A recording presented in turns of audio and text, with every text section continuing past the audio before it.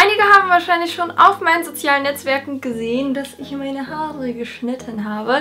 Ich wollte jetzt heute einfach mal darüber reden, wieso, wie genau das jetzt aussieht, weil auf Bildern sieht es ja auch doch immer ein bisschen anders aus, als wenn ich euch jetzt direkt einmal rumdrehe, zeige, wie jetzt das Endergebnis und so weiter aussieht, ob ich damit zufrieden bin. Einfach rund um meine neuen, ich würde schon fast sagen, kurzen Haare. Das ist für mich wirklich eine Riesenumstellung. Ich glaube, heute ist sogar mein dritter Jahrestag, also am 6. Juni 2020 12 habe ich mit YouTube angefangen und ich hatte diese ganzen Jahre immer lange Haare. Ich glaube echt, das letzte Mal, wo ich sie schulterlang hatte, war vielleicht in der fünften Klasse. Da habe ich noch ein Foto von, das kann ich euch jetzt sehr gerne einblenden. Als Kind, gerade noch als kleineres Kind, hatte ich immer so schulterlange Haare. Und dann wurde man einfach älter und plötzlich fand man lange Haare total toll.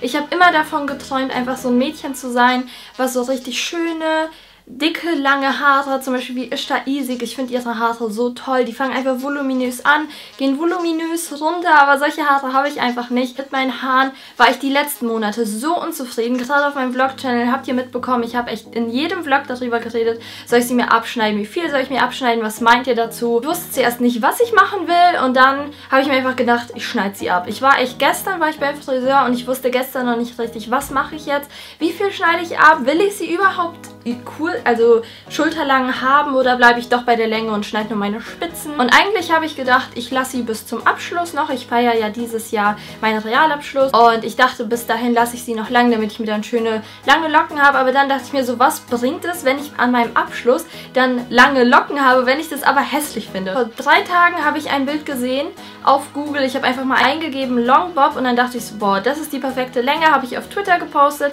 Einige haben gesagt, schneid dir es und seitdem habt ihr mich nur noch zugespammt mit Schneid dir einen Longbob, das würde dir so toll stehen. Und ich habe jetzt meiner Friseurin gar kein Bild gezeigt, sondern bin da einfach hingegangen. Sie fragt, ja, was möchtest du? Und ich so, ja, ich will sie ein bisschen kürzer haben. Und ich zeige einfach knallhart so. An dem Tag habe ich, bevor ich meine Haare geschnitten habe, noch den Spruch gelesen, ähm, der größte Fehler, den ihr in eurem Leben machen könnt, ist Angst davor, Fehler zu machen. Und dann dachte ich mir so, dieser Spruch hat so recht, ich gehe jetzt einfach dahin und schneide mir die Haare. Und ja, ich würde sagen, ich öffne euch jetzt mal meine Haare. So, das sind jetzt meine neuen Haare.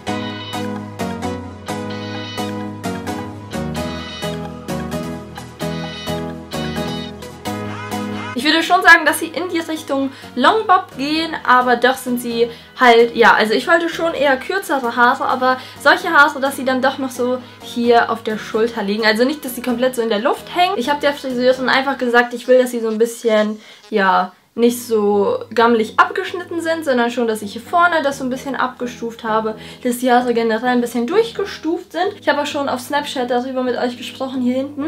Hat sie mir ein bisschen zu hohe Stufen gemacht, da bin ich nicht ganz so zufrieden mit. Ich konnte mir selber echt bis gestern nicht vorstellen, wie ich mit diesen Haaren aussehen werde.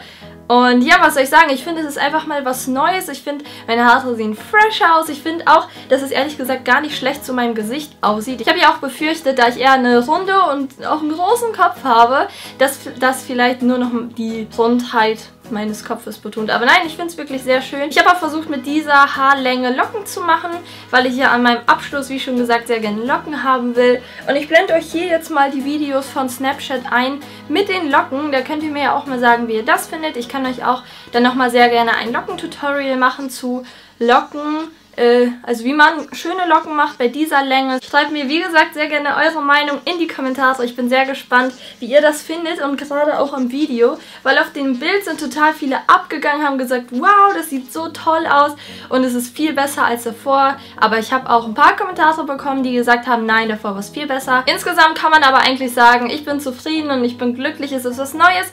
Und wer sich jetzt fragt, du hast doch voll den Ansatz, willst du die nicht nachfärben? Ich mache das nie beim Friseur, sondern ich habe mir mir gestern bei Rossmann dann eine neue Haarfarbe gekauft und dann wird mir meine Schwester oder ich selber werde die nachfärben. Aber auf jeden Fall haben auch einige Leute nach einem Update zu meiner Haarroutine gefragt und ich dachte mir, ich zeige euch einfach mal wieder, welche Produkte ich momentan benutze. Es ist von der Spülung her gleich geblieben. Ich benutze immer noch die Garnier Fructis Oil Repair 3 Haarspülung. Ich finde die immer noch sehr gut.